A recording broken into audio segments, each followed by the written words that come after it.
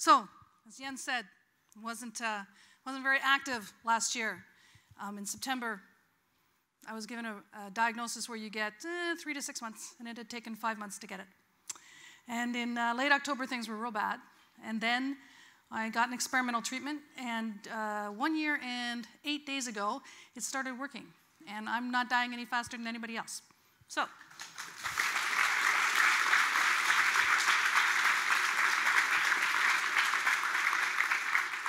one of the things that made me really sad uh, during September and October was there was stuff that I, my kids are 24 and 28, and I hadn't gotten around to telling them. I thought I would have a lot of time to tell them. And I started figuring that stuff out. So I didn't learn it then, I already knew it. And I thought, now I get to tell my kids it over the next few decades, but I've gathered it up, so I'm going to tell it to you. And it's, it's, these are really simple things. Uh, they're not complicated at all, uh, but they're actually also not easy at all. And so I thought for each one, I would give you a personal version of the rule and then a work version of the rule because they, they're kind of universal. So I was, I was angry a lot in September and October. Uh, if you find yourself in this position, it's okay to be angry. Uh, but I got angry about dumb things, and one was I had this big pile of scented soaps that people had given me, and I like scented soaps, but I never opened them because there was always a soap by the sink. And you can't open a new bar of soap when you have a current bar of soap. And I'm like, one day I'm like, I don't care. You can't stop me. I'm going to use this soap. I don't know who I was talking to.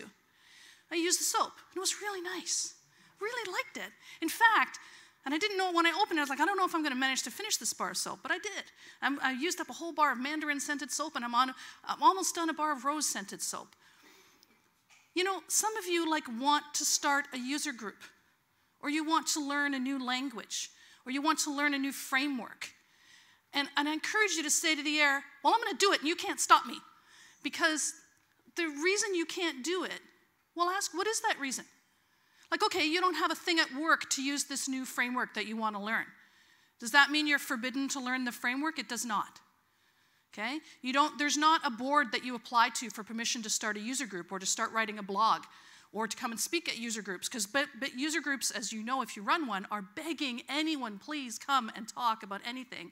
So if you want to speak at a user group, a user group will let you come and speak at them. So you do not need permission to do some of the things you want to do. But we do have some genuine constraints in, in our lives. And I just became a grandmother four months ago, and I gave my daughter this advice. I said, Sleep when the baby sleeps. Yes, it is hard to cook when the baby is awake. And it is hard to chat on the phone to a friend. It is hard to catch up on Facebook when the baby is awake. But it is impossible to sleep when the baby is awake if you are the only adult in the house. And so when the baby is asleep, you need to prioritize sleeping. In work, this means there are genuine constraints. You do not have two big screens on the bus. You do not have, in most cases, your boss's attention on your daily commute to work. So when you are at the office and you have your big screens and you have some time with your boss, do the things you can only do then. But the other half of this is I started swimming daily as an adult. And you know you can't breathe underwater? It's true, right?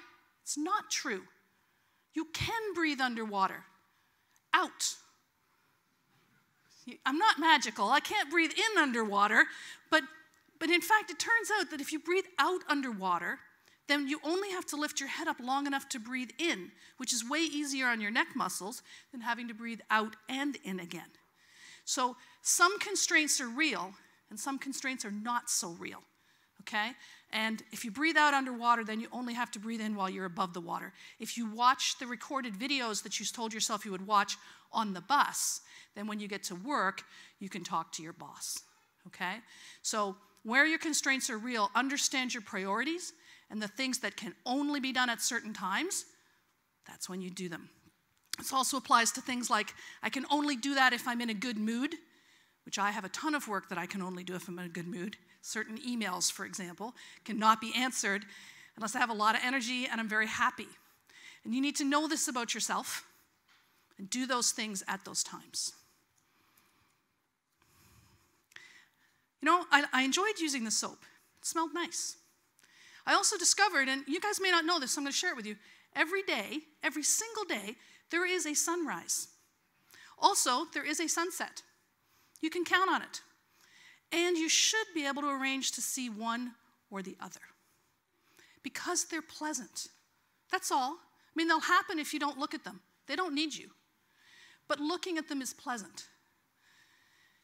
If your code builds the first time, it doesn't matter whether you just immediately say, Yeah, but I bet it won't run, or whether you stop and go, I am a hero because my code compiled. Your code doesn't care any more than the sunset cares if you're looking at it, but you will care. So take a minute and celebrate little things because these really are the good old days that you will look back on. You will, a year from now, say, God, remember when we started this project and I was smart and all my stuff built all the time? Not like now when I hate myself. So go ahead and enjoy it while you're having it. I had to learn to let people look after me, which was incredibly difficult. I'm a C++ programmer. What are we about? We're about control, right? And we're about, I'll do it all myself. This is the language where people say to me, like, okay, be right back, I'm just writing a JSON parser, because there are no other JSON parsers around that we could use. Uh, everybody wants to do everything for themselves, always, right? I had to learn to let people do things for me. What I discovered is people like doing things for you. People love being helpful. If you answer questions, who answers questions on Stack Overflow? Right? Do you do it for the money? Because if you do, I want you to tell me how we get the money. Um, people want to be helpful. So you can let people help you, and you have a support community. There's people on Twitter. There is, of course, the C++ Slack. There are various Facebook groups. And yes, there is Stack Exchange. If you're scared of Stack Exchange, email me. I wrote a course on how to use Stack Exchange and not die trying, and I can get you a free code so that you can watch at least that course. But you also have friends, fellow geeks in our community, and you have coworkers. When your code won't compile, when you don't understand, when you make sure you're not doing it wrong, so you go see how the standard libraries from other people do it and it's different. Like you have people you can say, who's wrong? Is it me or them? We all have a professional support community, even if we're the only developer in our company. We have the wider world, we have the internet. So uh, get support and don't feel that you're consuming a thing when you do that, because you are actually giving people the opportunity to help you, which they want. Right? If they don't, they won't volunteer to help you. Like, don't feel bad. It's fine.